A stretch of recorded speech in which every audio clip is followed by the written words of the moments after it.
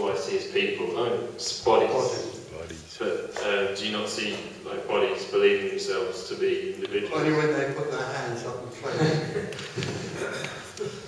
Um, One soul. um, I've mentioned you've mentioned like compassion before. The real compassion being like this ruthless destroyer of illusion, isn't? And you say like in regards to Tony Parsons that thoughts still arise and breathing still happens, but for nobody. Thoughts still arise, but for nobody. Um, but does compassion arise? No. No, it doesn't, compassion doesn't arise, it just is. Mhm.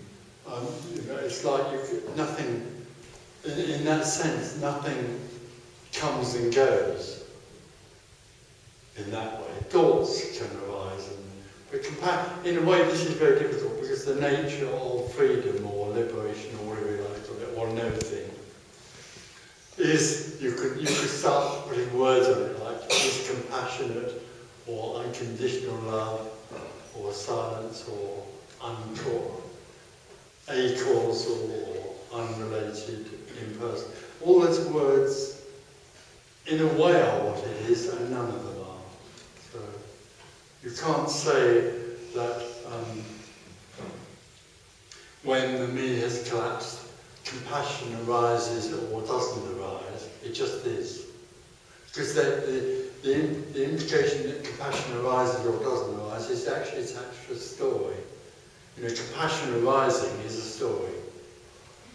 There isn't, there isn't a story. The story seems to appear, but it's no thing as a story.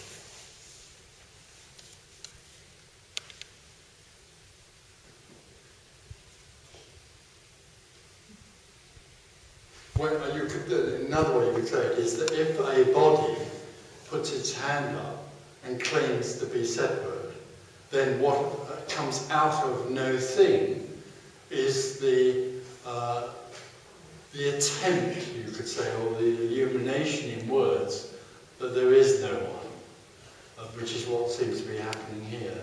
But, but actually underneath that is something that's unsaid, which is constantly all there is. You know, if you get up out of here and walk out and go down to the bus stop to get a bus, there is only that energy there as well. That's all there is. Standing waiting for a bus is what is longed for. Not, um, not as a story, but in, within, the, within the essence of what's happening is what is longed for.